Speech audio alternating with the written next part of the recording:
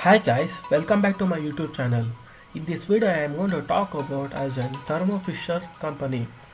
Guys, this organization offering as a freshers job opportunity who's graduated recently.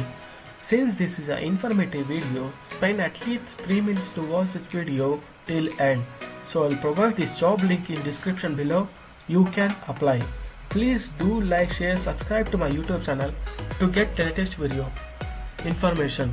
I'm going to give a quick overview of this scientific fresher thermometric scientific. As you can see here, they, it is an industry that you're mainly focusing on laboratory equipments. And they have given as in Wikipedia, if you're really interested for this job, just click on apply now.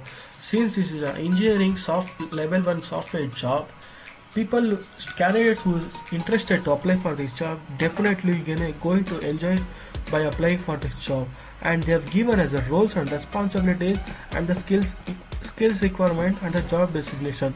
And they have given us an you need to have of any 0 to 2 year experience or freshers can apply for this job. You need to have of any degree like be either BE BTech or equivalent qualification. And you need to proven experience with soft like SDLC it is one of the software engineering subject like software development life cycle and you will be able to proven with agile system also.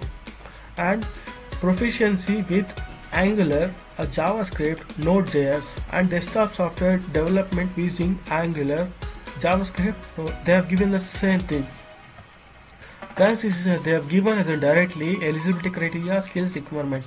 If you do interested for this job level 1 as a software engineer you can definitely click on apply now so that this will be redirected to another page guys you need to apply here. Like are you currently a full-time or part-time at a thermo scientific? You need to go with a no if you are applying for a fresher. After doing this they are going to asking some questions. If you follow these questions you will be able to upload your resume and fill up with your personal information. Once you submit or submit your application if your profile matches with an HR requirements they're going to make an announcement to you for a software engineering field. Thank you guys